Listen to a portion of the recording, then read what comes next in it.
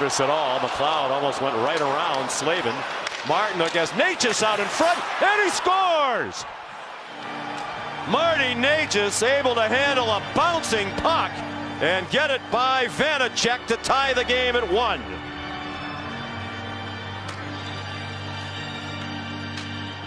It's the anatomy of a shift. Marty Necas spread way too high early in the shift. The Devils bench was yelling at him to get back into the play. Now after a turnover in the middle of the ice, Necas goes to the net and takes the bouncing puck from Jordan Martinook and chips it away. Watch Luke Hughes here. He's going to start this long breakout pass. Now he wants to change. He's heading to the bench. Whoops, I got to get back. Because he's not in the play, he's